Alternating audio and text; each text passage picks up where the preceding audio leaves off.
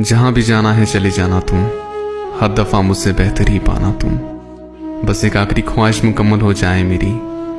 मेरे जनाजे पे सबसे पहले आना तुम। अफसोस हुआ और बहुत हुआ। वो मेरे साथ मरने की बातें करने वाला शख्स मेरे साथ जी भी ना सका। वो पूरा रोजा रखने वाली लड़की।